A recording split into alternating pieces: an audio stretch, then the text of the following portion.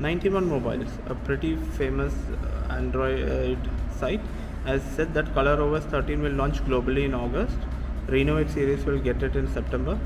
They have started launching the beta for the following phone Find X5, Find X5 Pro, and Find N. But only up to 1000 users will get it so that they can test it out. As you know, Android 13, the betas are come out for Xiaomi. Samsung has launched it yesterday in US, Germany, South Korea, and India.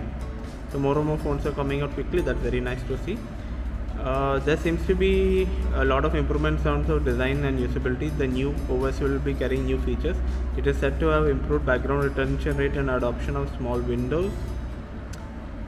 Reno 8 series will get it in September. Realme has already started testing in their phones. Uh, Oxygen OS 13 has already been uh, outed by OnePlus. They said it will be stock Android, but it is just another reskin version of ColorOS 13 so let's see how it comes out. Uh, soon they will launch it. It's good to see competition between the different different companies. Like share and subscribe for more videos